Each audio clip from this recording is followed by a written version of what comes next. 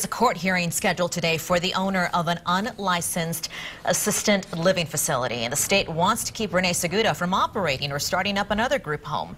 Back in August, this was the scene as EMS crews took seven people to the hospital from her facility. This was in Austin. They were suffering, they say, from heat stroke and other things. Court documents allege there was abuse, neglect, fraud, and sexual assaults happening inside that group home.